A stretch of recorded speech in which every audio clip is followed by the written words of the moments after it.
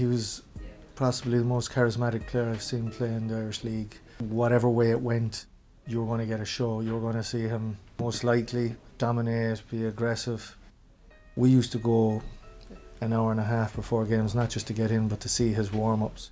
Just his massive chest, the aura of the guy taking up almost the width of the court, doing defensive slides in the warm up, just his sheer intensity that he brought. I would say he's probably the best defensive player ever to play in the country. On his home court, he owned it, particularly his time in Killester. It was Kelvin's court. A brilliant scorer, rebounder, could drive to the basket, could step outside and hit the you know mid-range shot.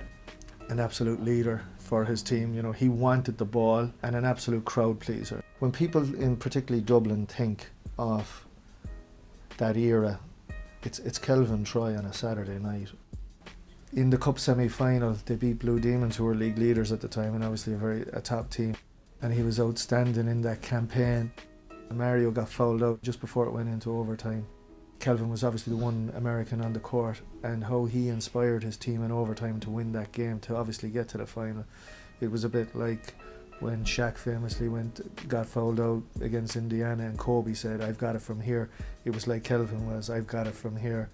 So he went west to Ballina and Ballina made incremental progress all through the likes of Liam. But the first year they made the, the, the breakthrough to the top four was with Kelvin.